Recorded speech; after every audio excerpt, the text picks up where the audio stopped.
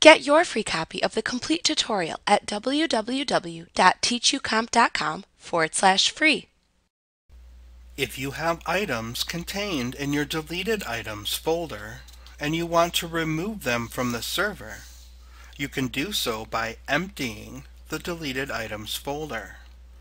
To empty the deleted items folder, right-click the folder and choose Empty Folder from the list displayed.